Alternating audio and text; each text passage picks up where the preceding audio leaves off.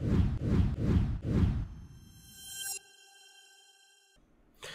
hello everyone, my name is Gregor Horvat and welcome to our new episode Surfing Daily Twice where I'll look at some of the most interesting developments for this week. This video has been brought to you by Orbex. I will look at the S&P 500, Kiwi, crude oil, dollar NOK and euro pound cross.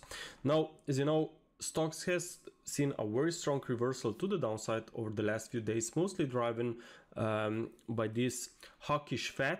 So um, they were Powell was very clear they want to stick with the hawkish um, policy. They will be looking for higher rates in the future to bring down inflation close to two percent.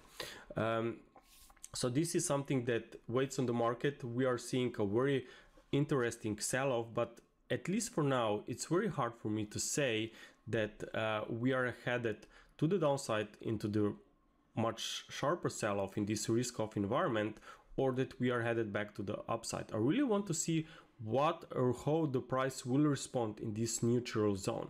Notice that this structure is still in three waves from the highs, right? So this can be either wave 4 if we see a bounce back towards 4200 so this will be my next confirmation. If we see a rally towards 4200 then i will immediately turn bullish on the s&p 500 and then we could look for potential dollar weakness um, um, against different currencies. If we will see in the next few sessions an overlap with 3950 then obviously this will mean that this is not wave 4 and that most likely we are headed to the downside and in such case we should be looking for stronger US dollar. So as you can see it's very important for me to see the response in, of the price action in the next few sessions to make sure what I should be looking for.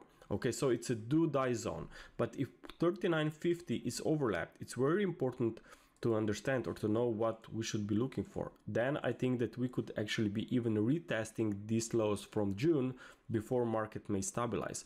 Also keep in mind that we have non-farm payrolls report on Friday.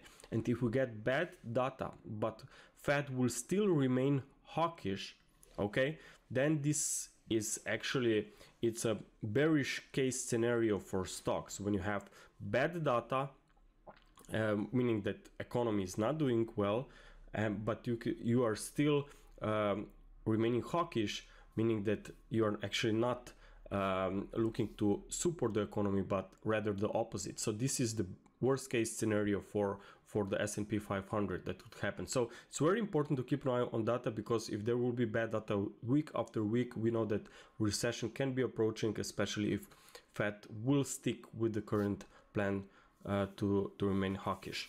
Um, so as I said, long story short, 39.50 below that, watch out for more weakness. For bullish case, we need this upper trend line broken to make uh, to look higher for a wave 5 and then this whole cycle up from June will likely suggest that risk on is back. Now let's take a look on Kiwi. So if we see 39.50, if we risk off will be still here, then commodity currencies obviously will stay weak. So what I would be looking for pay attention on is probably on Kiwi. Now Kiwi here uh, could be in very late stages of this very complex correction, deep correction, but still I can count this as a potential wedge here with a fifth wave in progress. So 78.6% is the next potential support. It was also some swing low here back from 2020 my levels. So maybe this is going to be retested before market turns to the upside, especially as I said, if the S&P 500 would make that overlap. Uh, because obviously then risk off would mean that dollar is much more attractive. So looking at the short-term outlook, well, if that's an ending diagonal or a wedge, we need three waves in each leg. So ideally, this is now wave B, still only second leg within ongoing weakness for wave 5 so um, I would definitely not be surprised to see a revisit of these uh, July lows especially because this rise was clearly made by three waves as you can see here on the 4 hour time frame um, so if we want to stay bullish US dollar watch out for this pair because I think it has the most clear, very clear price action, I should say. Now let's take a look on dollar, uh, sorry, on crude oil first. So what is going on on crude oil? Well, crude oil has seen a very deep retracement. Um, there will be some reforms um, uh, by the uh, European Union um, to trying to stabilize the energy prices. Um, however, this may not be such an easy task, so uh, I just trying to more focus on this poor price action because I can see that no matter what they do, I mean, there's still um, crude oil is still very high. There's still um, I think that bullish case valid as long we are trading above $80 per barrel. There is still very big uptrend that could resume. And looking at the price action here back from uh, March of this year well clearly I can count this as a corrective movement. It's just healthy correction within a higher degree uptrend. So we'll see if European Union will be successful trying to bring down the prices and even inflation.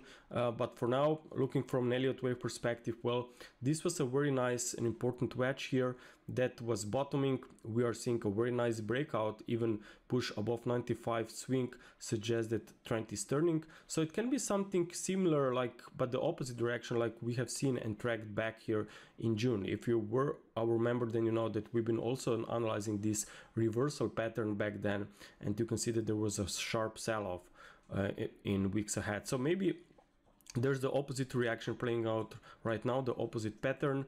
Also, watch out for more upside. In fact, I can count five waves up from the recent lows. Now, these five waves up actually suggest that this could be a leading diagonal, meaning more upside could follow after a pullback in wave 2 or maybe even just wave B. Uh, but in either case, I think that there is room for even for a push above 100, possibly towards 104, 105 dollars per barrel. So if crude oil is really going to see more upside, uh, what I would be looking for is maybe Canadian dollar could stabilize after recent weakness and dollar NOK maybe could see more uh, downside as well. I really like dollar NOK. Uh, I mean, despite all of those dollar bulls that we have recently seen, dollar NOK is still doing quite well. In fact, it's trading um, it looks to be trading bearish after this uh, turn down here from July uh, highs. You can count five waves down as an expanding diagonal here. So maybe more weakness will occur after a free wave rally. So I think that this free wave rally could still be underway. There is a very nice potential resistance zone around 10, which is also psychological round figure. Plus, it's the 61.8% is the former wave 2 and you have also wave C that equals to wave A in that area.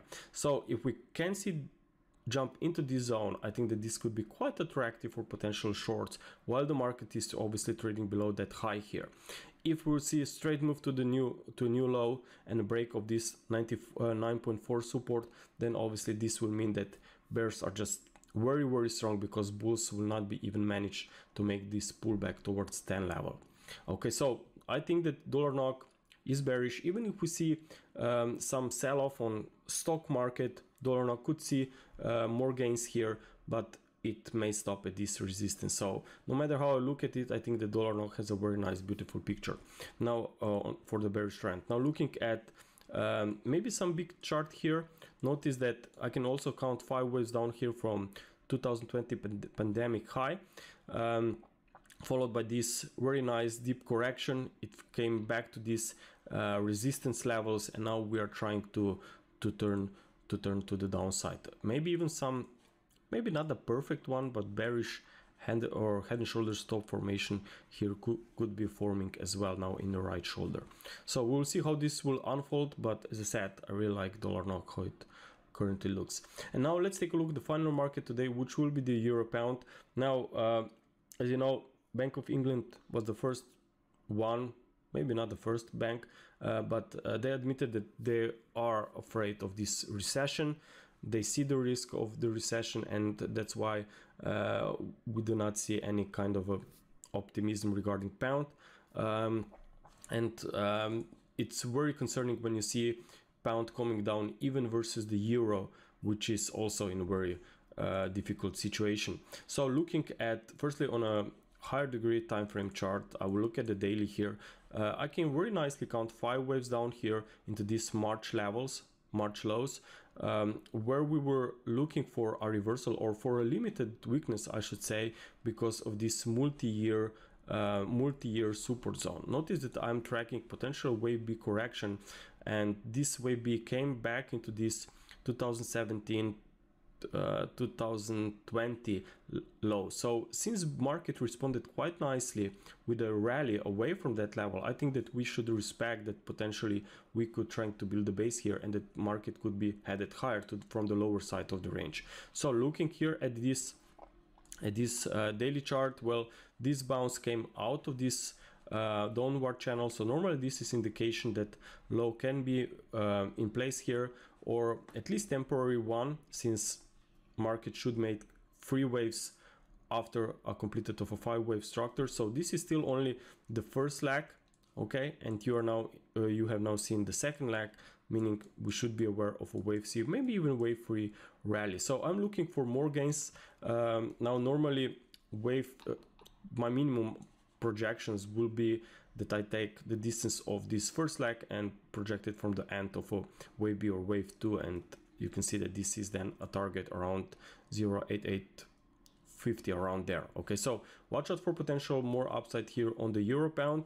Now looking at uh, the short-term picture uh, to show you where the invalidation of the current intraday outlook is it's most likely down here okay and this trend line. So as long as we are trading above this trend line okay and above um, 84 84 50 zone i think that this uh, that this pair has a chance to see more more gains okay?